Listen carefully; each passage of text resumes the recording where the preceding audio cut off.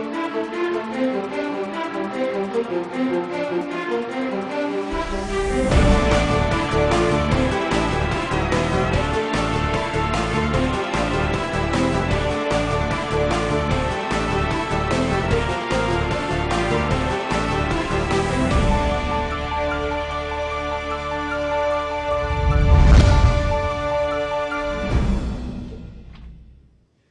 آتش در زندان شهر کرد. قتل یازده زندانی. بستن درهای سلول ها توسط زندانبانان و سوختن زندانیان و جان سپردن آنها. وضعیت فاضلاب ها وضعیت کشاورزی در ورامین آلودگی مواد خوراکی تولید شده در ورامین و مصرف آن در پایتخت ایران. آنچه که در زندانهای جمهوری اسلامی میگذرد و آنچه که در عرصه زندگی روزمره مردم ایران است. موضوع گفتگوی امروز ما موضوع تفسیر امروز در برنامه تفسیر خبر خواهد بود. سلام به شما. عزیزان جمشید چالنگی هستم از واشنگتن در ساعت پیشرو همراه با آقای ناصر محمدی روزنامه در استودیو استودیوی شبکه تلویزیونی ایران فردا در لندن و آقای دکتر محمد مصطفایی وکیل دادگستری و حقوقدان در نروژ. با شما خواهیم بود بررسی خواهیم کرد مهمترین خبرهای روز در عرصه داخل ایران رو. از جمله محاکمه مهدی هاشمی و نیز نظری خواهیم داشت به اوضاع جاری در منطقه. برقراری آتش بس 72 ساعته میان سازمان فلسطینی حماس و اسرائیل و مذاکرات جاری امروز در قاهره مذاکرات غیر مستقیم فلسطینی ها و اسرائیل با وساطت مصر. با شما عزیزان خواهیم بود تا لحظاتی دیگر.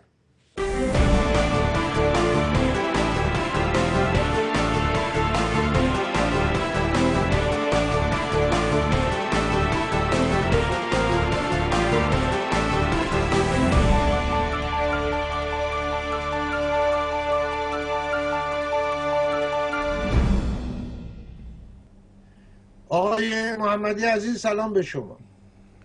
درود بر شما جناب چلنگی و جناب مصطفایی و همچنین شنوندگان و بینندگان شبکه ایران فردا به ویژه هموطنانمون در داخل ایران.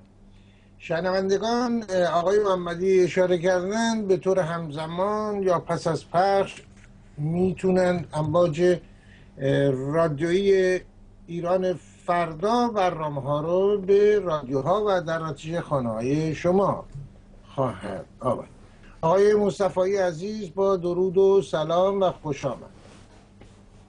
منم سلام عرض می‌کنم خدمت شما آقای محمدی و همچنین بینندگان و شنوندگان عزیز همونطور که شما فرمودید. و خیلی خوشحالم که در خدمتتون هستم و در رابطه با موضوع مهمی که اخیرا پیش اومده صحبت خواهیم کرد. سپاسگزار هستیم از طرف خودم تهیه کننده برنامه و همینطور بیننده.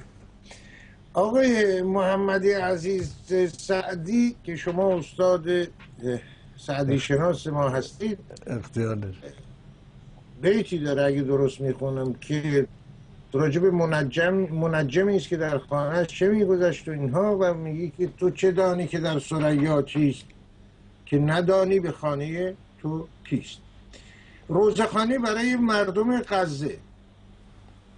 رایج بوده در این روزها توسط مسئولان حکومت ایران. آنچه که در غزه گذشت بین اسرائیل و سازمان حماس البته نتایج بسیار دردناکی داشت.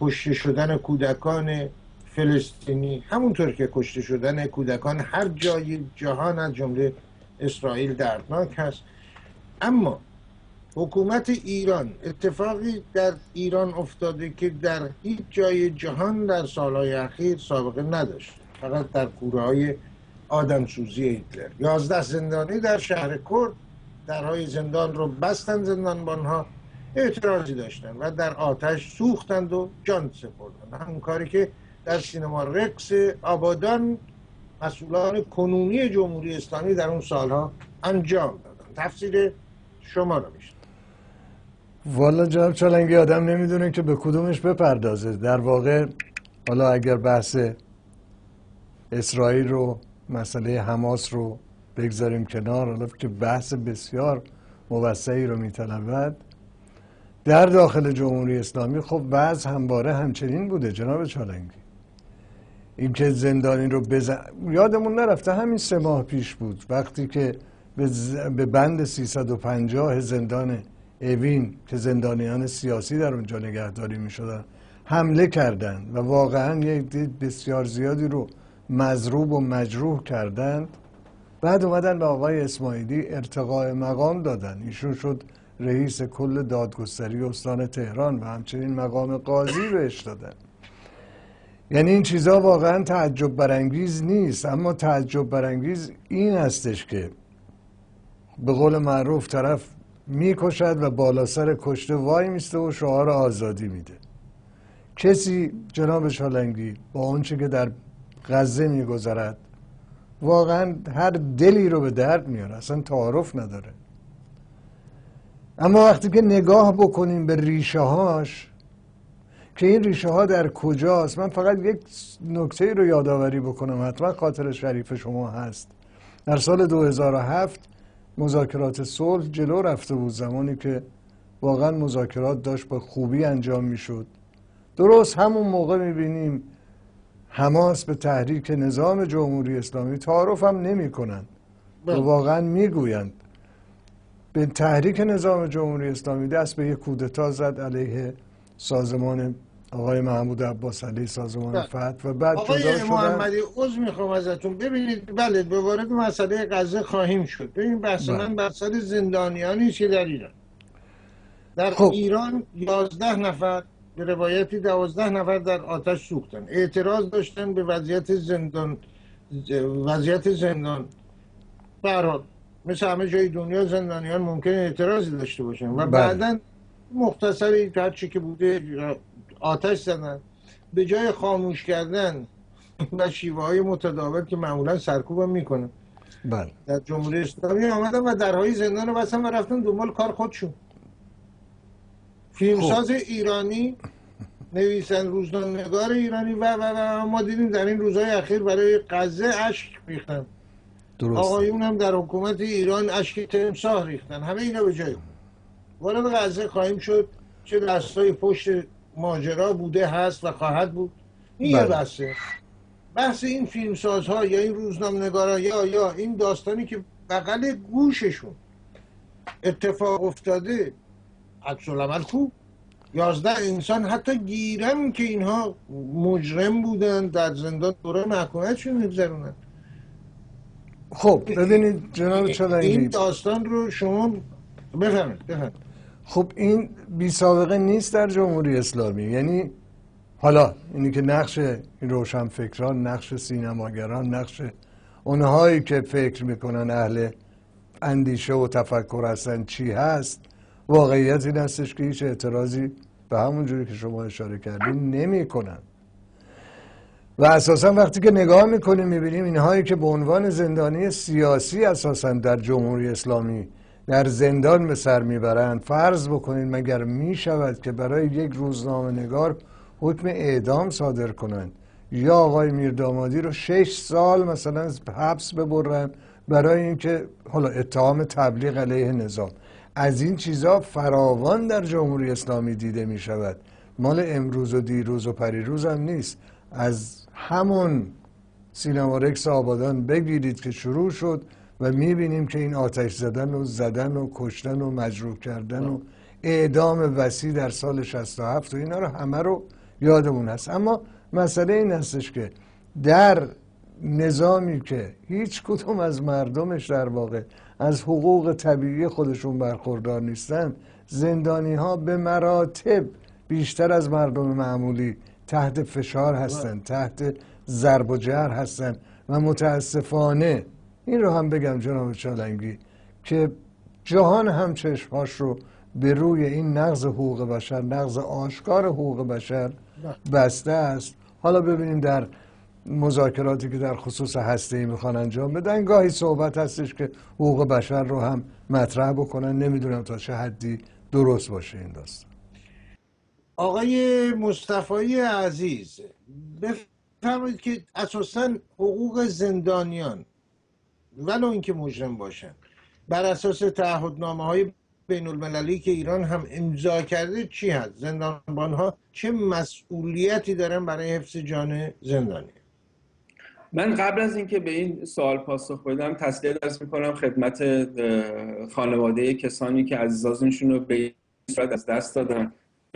یک فاجعه بود اتفاقی که رخ داد در زندان شهر کرد. ببینید حالا نمی‌خوایم راه دوری بریم به سمت سوی قوانین بین المللی اصلا اگه اونا رو ما کنار بگذاریم در داخل هم ما قوانینی داریم که بسیار به نفع زندانیان هست. از جمله ما یک آیننامه داریم به نام آیننامه سازمان زندان ها که راهگشای وضعیت و حقوق زندانیاست و خب یک سندیه که مسئولین زندان و حتی قوه قضاییه میباید بر اساسون عمل بکنن. مضافا به اینکه ما قوانین جزایی بسیار قوی و محکمی هم در رابطه با حقوق زندانی ها تا حدودی داریم.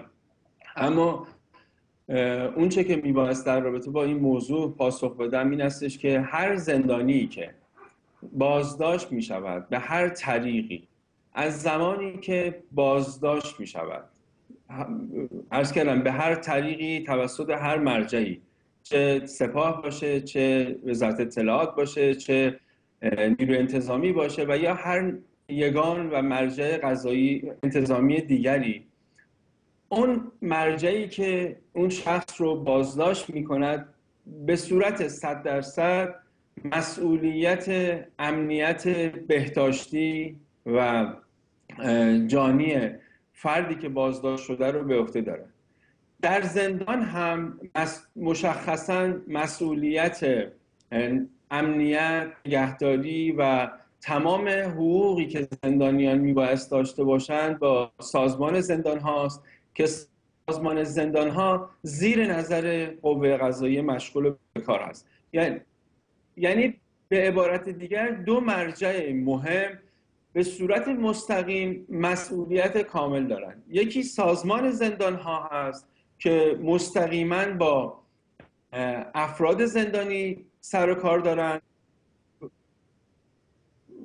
و دیگری قوه قضاییه هست که قوه قضاییه مسئولیت داره که نظارت بکنه بر کار سازمان زندان ها این اولین رخداد و اولین اتفاقی نبود که در زندان ها ایران رخ داد در جمله در قبل ها هم در تبریز داشتیم در حتی زندان اوین داشتیم یا زندان های دیگری هم بود که ما این اتفاقات رو شاهدش بودیم. ولی به دلیل عدم توجه مسئولین یا حتی گاهی اوقات به دلیل عمد در اعمالشون کارهایی رو انجام میدن که خب در اصل این فاجعه ها رخ میده.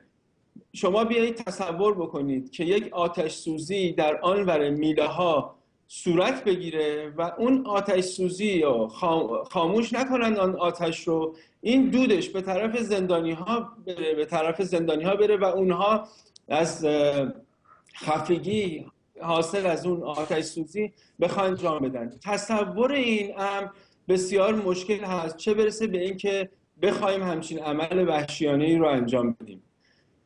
و حتی در زندان ها رو در سلول ها رو آقای مصطفی میگن مسئولان زندان زندانبان ها بستن و رفتن.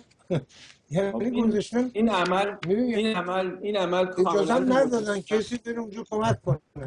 نه این عمل کاملا مجرمانه است. تمام زندان ها از نظر بین المللی میباید این استاندار داشته باشه که حتی کوچکترین دودی در فضای زندان ها ایجاد بشه سیستم مرکزیش به خصوص الان که در این عصر تکنولوژی هستیم و کمترین دود حتی دود سیگار رو راحت میشه کنترل کرد.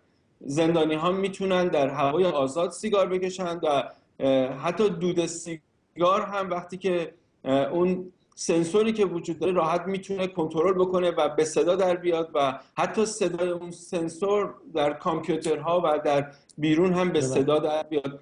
اینها وظایفی هستش که سازمان زندان ها میبایست انجام بدن. هر چقدر که زمان میگذرد و هر چقدر که تکنولوژی پیشرفت می‌کند بر اساس اون تکنولوژی میبایست هر مرجعی بتواند از اون استفاده یگانی که بیتوجهی بکنه به نسبت به حفظ جان و سلامت افراد مسئولیت داره.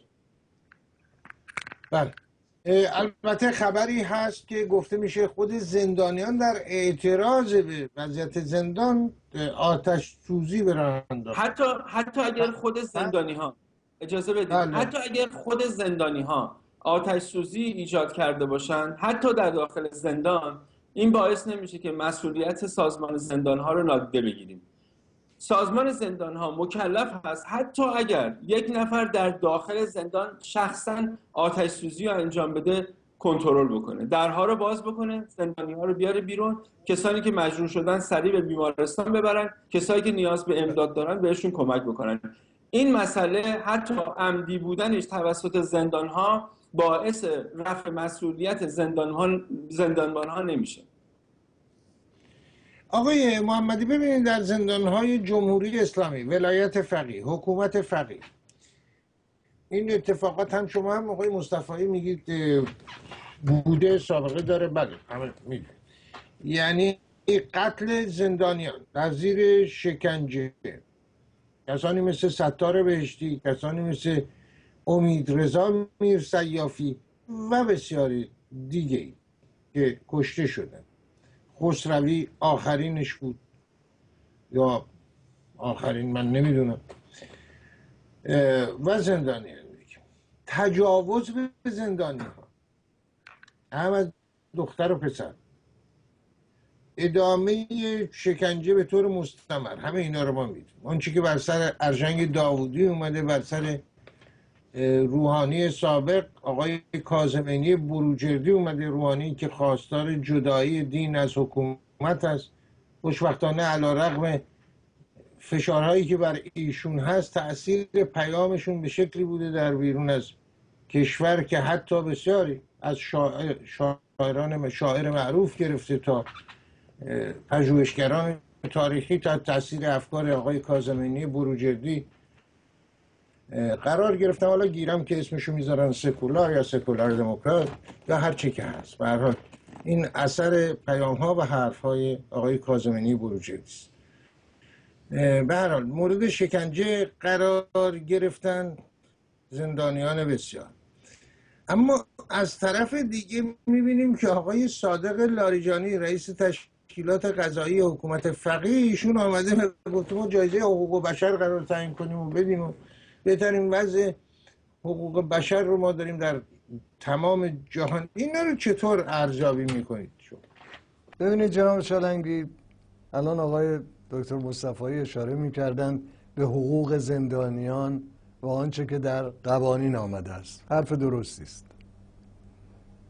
و البته می‌دانیم که حتی بر مبنای موازین اسلامی هم کسی که اسیر دست شماست باید مراقبتش کنید باید نگرش دارید. ولی ما داریم در مورد چه رژیمی صحبت می‌کنیم؟ یعنی چه که انتظار داشته باشیم این جمهوری اسلامی بخواهد حتی قوانین خودش رو اجرا بکنه؟ نمی‌کنه.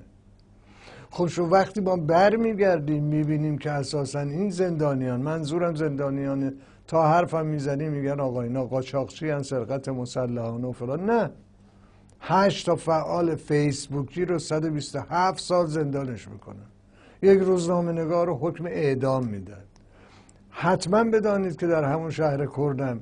باز وقتی ریشش رو بیشکافی می‌بینید که زندانی ها سیاست اصلا اینا برای چی رفتن؟ آقا جمهوری اسلامی قوانین را اجرا نمی کند مسئله این استش که قوه قضاییه یک ابزار سرکوبی است در دست بیت رهبری که هر کسی رو که بخواهند می توانند بگیرند ببندند زندان کنند بکشند. حتی دیده ایم یه مداح بلند میشه تو خیابون. اسلحه می‌کشه و حمله می‌کنه به یک زن و شوهر جوان. هیچ کس هم هیچی نمیگه. اصلا انتظار داشتن که این نظام بخواهد فرض بکن فصل سوم قانون اساسی را اجرا بکند این انتظار بیجایی است به اعتقاد من. آقا نمی‌کنه. خیلی ساده و راحت. دزدهایی که همراه خودش هستن اونها رو تقویت می‌کنه. حالا گاهی یکی مثلا مثل بابک زنجانی پیدا میشه حالا باجش رو نداده یا مثلا حق و حقوق آقایون رو درست نرسونده علمش می‌کنن. ولی یکی دوتا نیستن که. اما در عین حال میآیند مثلا شخصی مثل ستار بهشتی یه کارگر شریف رو اونجور میکشنش. و بعد با کمال وقاحت و پررویی همواره هم تقصیر رو میندازن گردن یکی دیگه. آقا زندانیان خودشون آتیش زدن. خب آتیش زدن. اولا که زندانی این کارو نمی‌کنه. ثانیا آتیش زدن. به قول آقای مصطفی شما مسئول جانش هستی. اونها نه تنها در زندان مسئول جان نیستن مردم در خانه هاشون هم امنیت ندارن. خیلی ساده و راحت میریزن به خانه مردم.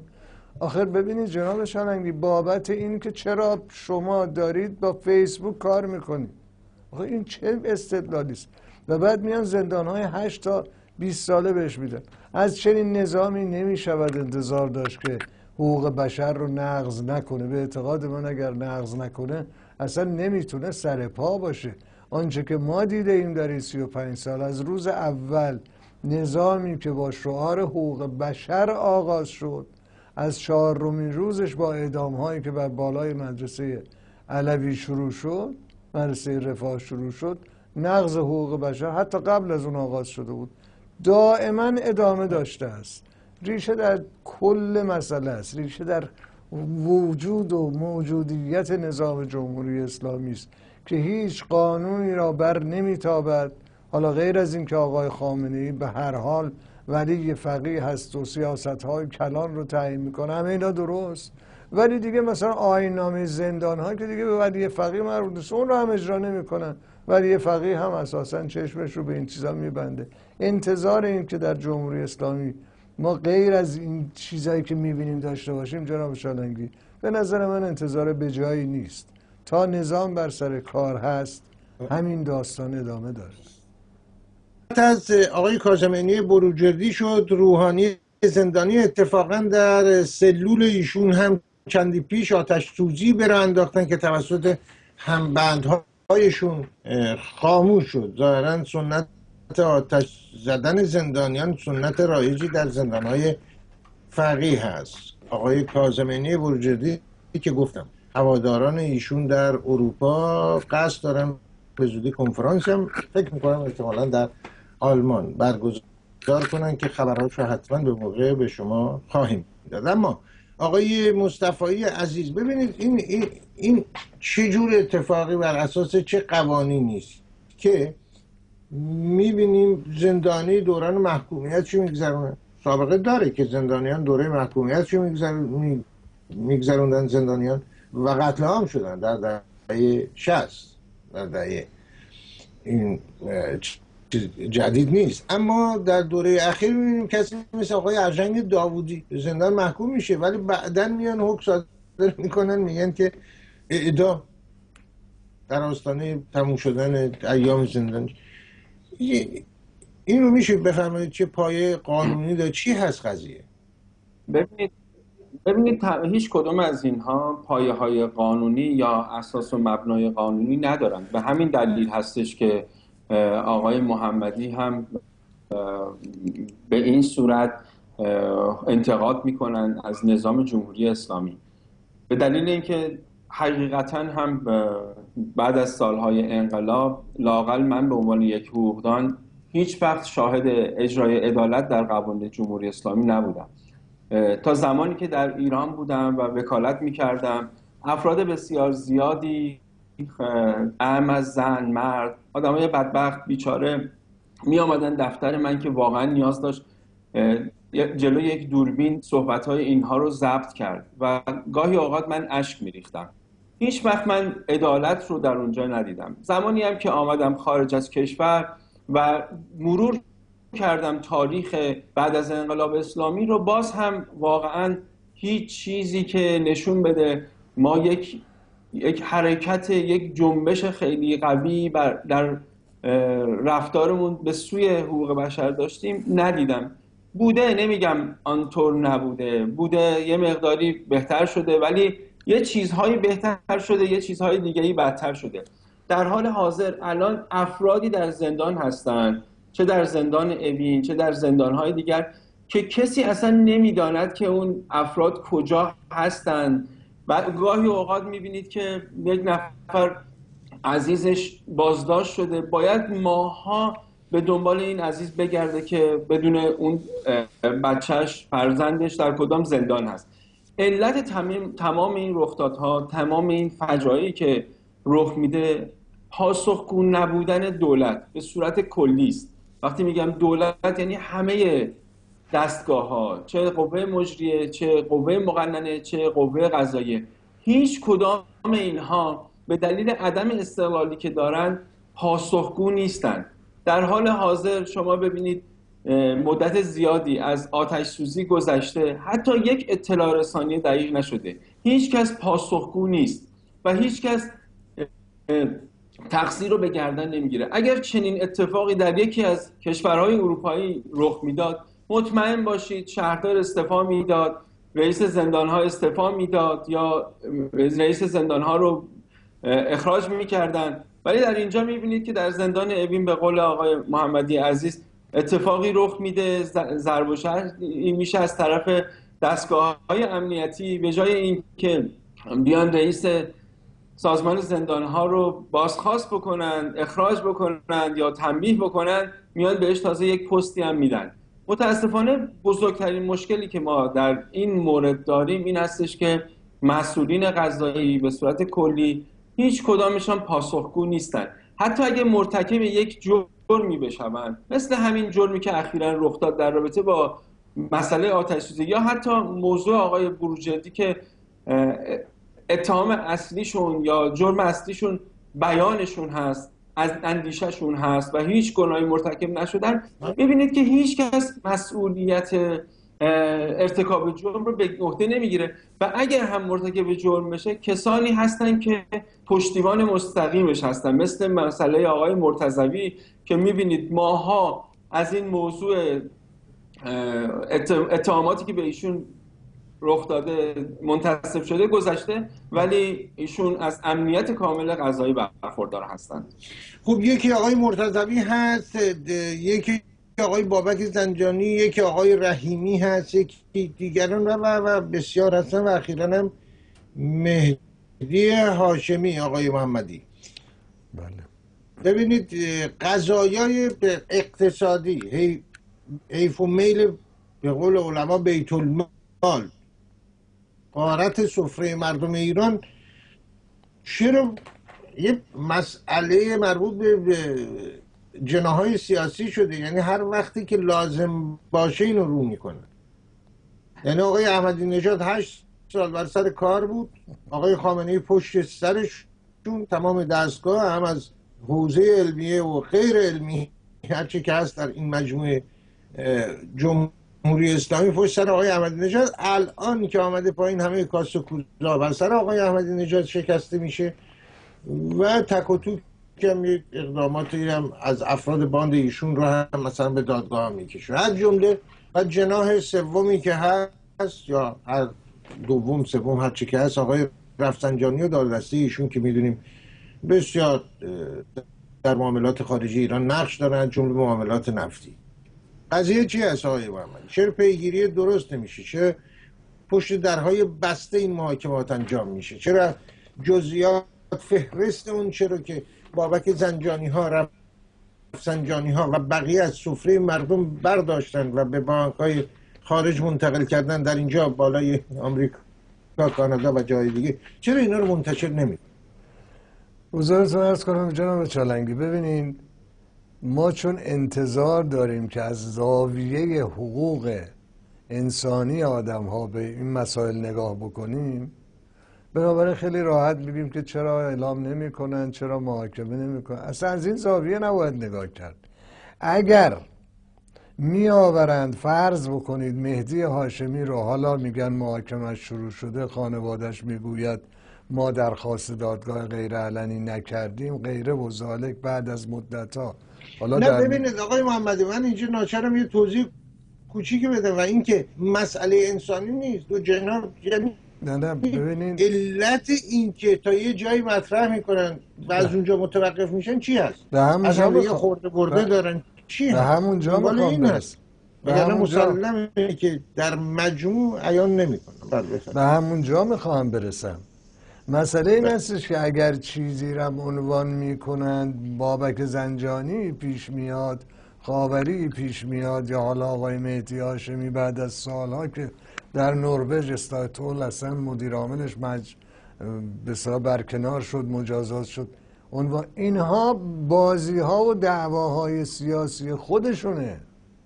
مسئله این نیست که بخواهند عدالت را پیاده بکنند. آقای علی متحری پاسخ خیلی خوبی داده بود به این آقای حمید روحانی که اعتراضاتی کرده بود و همین نکته شما رو اشاره کرده بود که این آقای احمدی نژاد رو خب شما هشت سال حمایتش می‌کردید. خودتون حالا میگید از اون موقعی که در مقابل رهبر ایستاد و رهبر رو در مورد دستور ابقای آقای مصلحی به اصطلاح بی‌اعتنایی کرد به دستور از اون موقع شروع کردید. بنابراین دعوا دعوای سیاسی است. اصلا بحث این نیست که به عدالت رفتار بکنند و الا اگر واقعا اگر حکم شود که مست گیرند در شهر هر آنچه هست گیرند. شاید این لیست هایی که در مورد آقای احمدی نژاد و یارانش بیرون دادهاند که البته چند تایی رو شما اشاره فرمودید و به قول اون نویسنده نوشته بود که یک سوم از یاران ایشون در راه راهروهای داد قوه قضایی سرگردونن. خب فکر می‌کنین که مثلا بیت رهبری همچه آدمایی رو نداره. بسیار زیاد داره. آقای هاشمی رفسنجانی در دم و دستگاهش بسیار از این آدم ها هست. تا برسه به همه هر امام جمعه ای داره. هر آخه شما ببینید چجوری می شود در یک کشوری سپاه پاسداران بره مثلا یک روزنامه نگار رو دست آخه سپاه مگه کار نظامی نباید انجام بده؟ بسیج بتونه بره دست دستگیر بکنه. امام جمعه فلان شهر دستور دستگیری بده بیارن بندازن زندان. این روال عادیه و اون بحثایی که اینجوری مطرح می شود و میاد گاهی تو روزنامه ها و یه خورده بازش می‌کنن دوباره جمعش می‌کنن خیلی علنی و ساده است. خیلی روشن هستش که اینجا دعوا دعوای سیاسی است. امروز آقای خامنه ای می‌خواهد به قول گفتنی تو کوچه بازار روی فلانی رو کم کنه. انگوش می‌ذاره دو تا پرونده علم می‌کنه. کسی هم که با آقای خامنه ای یعنی خود آقای خامنه ای هم که به جای جوابگو نیست رئیس قوه قضاییه هم با افتخار می‌گوید ما تابع رهبر هستیم. ما اصلا کاری به قانون و اینا نداریم. بنابراین اینها نتیجه اون دعواهای سیاسی است جناب شالنگی. نه اینکه بله. بخواهند عدالت رو اجرا بکنه نه اینکه بخواهند اون چپاولگرانی که از سفره مردم در واقع دزدیدند. حالا ماشین سه میلیارد تومنی سوار میشن. نه اینکه بخواهند عدالت رو اجرا کنن نه. دعوای خصوصی است. حالا اون یکی دوز نبره یه دوز دیگه. بین سارقان دعواست در واقع. آقای مصطفی ق... به اصطلاح قوه قضاییه یا دادگستری یا هر چی که از عدالت ولایت فقیه عدالت فقیه هر چی که هست. این هم خودی و غیر خودی داره. یعنی جوان مردم رو می‌گیرن زندان شکنجه اعدام می‌کشن زیر شکنجه سر صدای هم در نمیاد. منتها کسی مثل آقای مهدی رفسنجانی ایشون با کپکبه و دبدبه و زمانی که در یک کشوری فساد سیاسی وجود داشته باشه این فساد سیاسی ناخودآگاه به بدنه های دیگر نظام هم سرایت فساد اقتصادی ایجاد میشه فساد فرهنگی ایجاد میشه فساد اجتماعی ایجاد میشه و حتی در دستگاه قضایی هم فساد ایجاد میشه. چه بسا که من اخبار بسیار بسیار زیادی از همکاران خودم از ایران چه در صفحات فیسبوک چه در جاهای مختلف و مقالاتی که منتشر می‌کنن می‌خونم و میشنوم که چه فساد قضایی گسترده‌ای در اه، دستگاه قضایی وجود داره. ببینید زمانی که زمانی که پاسخگویی اه، مسئول پاسخگویی وجود نداشته باشه و صرفا اعلام بشه که دولت خدمتگزار دولت نوکر مردمه همطور که عرض کردم نه دولت خدمتگزار نیاز هستش که ما داشته باشیم نه نوکر نیاز هست داشته باشیم. ما دولتی نیاز داریم که به رفاه مردم فکر بکنه به امنیت مردم فکر بکنه. و در چارچوب اون رفاه بخواد قدم برداره. زمانی که در دستگاه غذایی می‌بینیم خب یک نفر که رئیس دستگاه غذایی هست کسی هستش که هیچ سواد غذایی نداره و هیچ سابقه ای بر قضاوت نداره روی کار میاد و ایشون میشن رئیس دستگاه غذایی و سکان دستگاه غذایی رو به می‌گیرن. خب مسلما این سکان به سمت صخره خواهد رفت و اون کشتی رو نابود خواهد کرد. وضعیتی که ما در حال حاضر هم می‌بینیم بارها در زندان ها شاهد این بودیم که زندانی های بسیار زیادی از نظر امنیت امنیت بهداشتی با مشکلات مواجه بودن ولی هیچ کس هیچ کدوم از اونها این قدرت رو نداشتن که شکایتشون به نتیجه برسه. متاسفانه ما نیاز داریم به این که کسانی که روی کار میان یاد بگیرن که چطور پاسخگو باشن و در قبال کارهایی که انجام میدن مسئولیت داشته باشن و در بر اساس حتی اگه که ما قوانینی که در حال حاضر وجود داره در قانون اساسی یا هایی که وجود داره نسبت به حقوق افراد رو ما بخوایم لحاظ بکنیم می‌بینیم که حقوق بسیار زیادی وجود داره که اگر اونها اجرا بشود به درستی هم اجرا بشود. مشکلاتی که ما الان داریم بسیار کم خواهد بود. ولی متاسفانه همونطور که آقای محمدی هم اشاره کردن و چندین بار هم اشاره کردند و شما هم اشاره کردید مشکل اصلی ما و موزل اصلی ما عدم پاسخگو بودنه و اون فساد سیاسی هست که در دستگاه قضایی وجود داره. حتی حتی با حضور و با آمدن آقای روحانی به دلیل اون که ریشه های فساد ریشه های سیاسی به گونه فاصله شده باز هم هیچ تغییر آنچنانی ایجاد نشده و باز باید امیدوار بود کار کرد تلاش کرد فرهنگسازی کرد. حالا جامعه مدنی بیشتر کار بکنن مردم بیشتر خودشون کار بکنن. میگن کس نخواهد پشت من جز ناخن گشت من همینه. زندانی ها هم به همین صورتن مردم عادی هم به همین صورتن باید یواش یواش به جایی برسن که دولت نمی‌تونه پشتشون رو بخارونه و باید خودشون این کارو بکنن. پی می‌گیریم تا لحظاتی دیگر تفسیر خبر رو از شبکه تلویزیونی ایران فرد.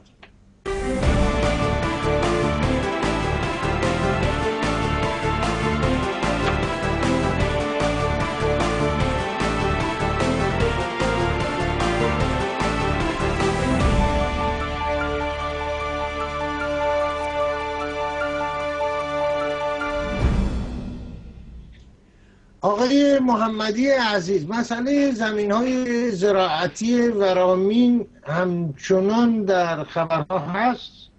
محصولات آلوده از فاضلات تغذیه میشن و محصولاتی که به دست میاد در پایتخت مصرف میشه در ورامین و شهرهای اطراف. اما مسئولان مربوط در جمهوری اسلامی اینها رو به عنوان خبر در اختیار رسانه ها می‌گذارن. یعنی اینکه چه باید کرد خبری نیست برای رفع این مشکل.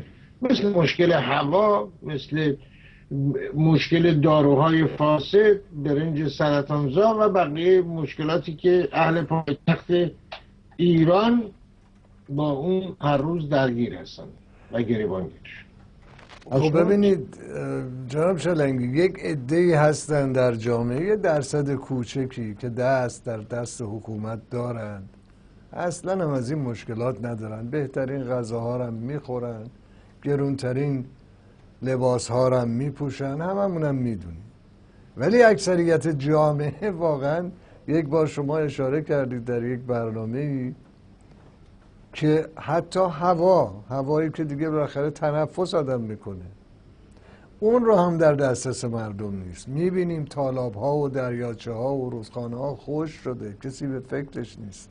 در تمام این مدت یه صدی بزنن یه کاری بکنن. واقعا فقط آقای خامنه‌ای نشسته است می‌گوید جمعیت یه دفعه از 70 میلیون 75 میلیون بشه 150 200 میلیون. بله. حالا کدوم مسئولیت هست اصلا ایشون چی کاره است؟ کدوم تخصص رو داره؟ میگه بدون اینکه حتی فکر بکند که آقا اینها نان می‌خوان. باور بکنید بعضی گزارش ها می‌رسه آقای چالنگی. آدم خجالت می‌کشه از خودش که بسیاری هستن که همون نان و پنیر معمولی رو هم ندارن بخورن. بعد میایم می‌بینیم مثلا در ورامین وقتی فقط ورامین نیست جای دیگه هم همینی هست. با آب فاضلاب کشزار درست کردن و بعد اون محصول آلوده رو میارن در بازار میفروشن و حتما بدونید اون خانواده های پولدار و اینا نیستن. وابستگان حکومت که برن اون محصول آلوده رو بخرن. نه اونا خیالشون راحته. و واقعا این هستش که نه آبی نه هوایی نه اصلا مسئولیتی وجود نداره. کسی خودش رو مسئول نمی‌دونه. اما در همین نظام جمهوری اسلامی که این همه بیدقته این همه بیتوجه نسبت به زندگی مردم اگر یه نفر کوچکترین نفسی بکشه انتقادی بکنه فوری می‌بینیم که همه سازمان ها بسیج میشن خیلی راحت میرن دستگیر می‌کنن میارن محاکمه می‌کنن. سر و صدا که می‌بینیم یا روزخانی با راه میندازن برای فلان مظلومی که در فلان کشور افتاده زندان. و این واقعا جز این که بگیم جمهوری اسلامی با, با مغز مردم با فکر مردم آقای چالنگی یکی دیگر از واقعا زایاتی که وجود داره اعتیاده. الان داره جوونا رو از بین می‌بره. بله یعنی واقعا یکی دوتا نیست آدم نمی‌دونه از کجاش باید بگه چه باید بکنه و چگونه می‌شود این نظام رو. واقعا از فساد بگم نجات داد که خب اینا آمدن عالمن این کارو می‌کنن. ولی باز هم می‌گویم که اصلا کسی پاسخگو نیست. حتی اگر شما روزنامه داشته باشید احیانا در مورد این مطلب گزارشی تهیه بکنید همون بلای ممکنه سر شما بیاد خدای نکرده. که سر میر سیافی اومد که سر ستار بهشتی اومد که خیلی راحت و آسوده و بدون هیچ نگرانی می‌گیرن زندان می‌کنن میبندن. مسئله این هستش که جناب چالنگی سراسر این نظام رو از اون رست تا اون پایین فساد فرا گرفته متاسفانه و بخش بزرگیش در بیت رهبری متمرکز هست. با کمال تاسف آقای مصطفی عزیز در برنامه من اشاره کرده بودم که یک شهروند ایرانی در پایتخت کشور با مشکلات روزمره که پا میشه از روبرو هست یکی هوای آلوده هستش. مواد غذایی آلوده مثل سبزیجات و پربار درس کنم تولید شده در ورامین که با فاضلاب تولید میشه. و همینطور دکل های مخابراتی که به گفته مسئولان خود حکومت تولید سرطان می‌کنن و داروهای فاسد و مسائل دیگه. استراب های ناشی از داشتن دختر یا پسر جوانی که به خیابون میره و نگرانی پدر مادر از بازگشت و مسائل دیگه. آیا اینها که مسائل به یک معنی سیاسی نیستن؟ اینها حق یک شهروند نیست از نظر قانونی که دارای هوای تمیزی باشه داروی سالمی باشه مواد غذایی و دولت های موظف نیست اینا رو تأمین کنه برای مردم؟ ببینید در بخش اول صحبتمون که موضوع زندانیان مطرح شد در اونجا خب مستقیما قوه قضاییه مسئولیت داره. خب اون مسائل حقوقی افراد در زندان و دستگاه قضایی. اما از این به بعد که خب برنامه شما اختصاص پیدا کرده به حقوق افراد به خصوص شهروندان در شهرهای مختلف حالا این موضوع دو هزار هکتار زمین زراعی که زیر فاضلاب ورامی صورت گرفته اون هم در پایتخته و حتی ما در شهرهای دیگه هم داریم اینها از جمله موضوعاتی هست که برمیگرده به مسئولیت های قوه مجریه. و زمانی که این گونه حقوق مطرح می شود حقوق اجتماعی افراد مطرح می شود در آنجا دیگه موضوع سیاسی رو هم حتی نباید تخیل بکنیم. برمیگرده به اقداماتی که دستگاه های اجرایی میباید انجام میدن یعنی دستگاه هایی که زیر نظر رئیس جمهور و آقای روحانی هست. بنابراین خب مسلما ایجاد رفاه ایجاد بهداشت سلامتی و حتی روانی و جسمانی از جمله وظایفی است که قانون اساسی در اختیار رئیس جمهور گذاشته. و این اقدامی هم که در حال حاضر صورت گرفته هر که باز هم از طرف بدنه خود دولت هست موضوعات و معضلاتی هستش که دولت باید اونها رو برطرف بکنه. و از لحاظ حقوقی هم اگر افرادی آسیب ببینند در رابطه با آبیاری هایی که صورت می‌گیره به خصوص اینکه کارشناسان در این زمینه اظهار نظر کردن که خب زیان های بسیار زیادی برای مصرف کننده ها به میان خواهد آمد. بنابراین اون زیان ها از لحاظ بهداشتی مسئولیتش باز هم با قوه مجریه بنابراین در اینجا هم قوه مجریه هم قوه مقننه یه نوع مسئولیتی دارن. قوه مجریه مسئولیت این رو داره که از آبهای فاضلاب استفاده نکنه و آبهای فاضلاب رو به صورت کاملا استاندارد و بر اساس دستاوردهای روز به نوعی ازش استفاده بکنه اونها رو خالص بکنه و از طرفی هم دستگاه غذایی این وظیفه رو داره که جلوی اقدامات غیرقانونی که صورت می‌گیره از طرف حالا اداره آب فاضلاب شهری و یا شهرله و ورامین و جاهای دیگه که زیر نظر دولت هستش رو به نوعی از لحاظ غذایی مانع بشه بله. خب آقای محمدی آقای ببینیم قوه قضایی که دست یکی از لاریجانی ها انواع اقسام لاریجانی داریم آن دیگری رئیس مجلس در حال مجلس ظاهرا اساسا قرار مجلس نمایندگی کنه منویات و خواستا و خواستای مردم رو. حالا میگن که پدر آقای لاریجانی این لاریجانی ها مرد فاضلی حالا شاید این باش من نمی‌دونم قرار ولی میگی به قول معروف گیرم پدر تو بود فاضل. فکری هم ولی باید حال فاضلا به ورامین کرد یا نه؟ آیا مجلس موظف نیست در این مورد کاری بکنه؟ دولت رو زیر فشار قرار بده با قدرت قانونی که داره. همین قوانین جمهوری اسلامی. به جای پرچم آمریکا و اسرائیل جای دیگه آتیش زدن و هی در دهان این زدن و در دهان اون زدن و این کارها اونا رو پیشکش که مقدار تعطیل کنید. وضعیت بله. مردم رو روشن کنید. اقلا سبزی و تربچه سالمی بخورید اتفاقا ببینید اتفاقا دولت خب آقای روحانی از وعده هایی که دادن البته وعده اصلیشون همون مسئله هسته بود که بتواند به این مسائل اقتصادی برسد و مشکلات اقتصادی رو حل بکنه. اما شما داریم میگیم که این دستگاه ها آیا بازخواست نمی کنن دولت رو تحت فشار نمی‌ذارن؟ چرا؟ دولت رو تحت فشار می‌ذارن. منتها از یه راه دیگری. آقای علم الهدا اخیرا توی نماز عید فطر گفتن که آقا مردم اصلا به خاطر اقتصاد و این حرفا نمیان جانشون بدن به خاطر دینشونه که جانشون میدن. این مسائل اقتصادی اینا رو بذاریم کنار. یکی اگه بیاد تو مشهد منو ببینه و نمی‌دونم ببینه در دیوار مشهد سراسر بی افتی و بی اسمتی است. آبرو اون میره که دنیا چشم ما دوخته است که ببینیم. الان دارن به دولت فشار میارند منتها در جهت دیگه ایز به گربه گم می‌کنن. مسائل اقتصادی چرا به چالنگی آقای روحانی بخواد هم اگر بتواند واقعا همون اولین دومین گره رو, گره رو باز کنه باز باید گفت دستش درد نکنه. ولی امکان پذیر نیست. آنقدر توش. ببینید یکی از کارشناسان اقتصادی به اسم آقای حسین راغفر که نزدیک به دولت هم هست. ایشون پیشنهاد داده است که آقا آنچه که قراردادهای نفتی و پروژه های نفت و گاز بوده و ما دادیم به سپاه اینا با شکست مواجه شده.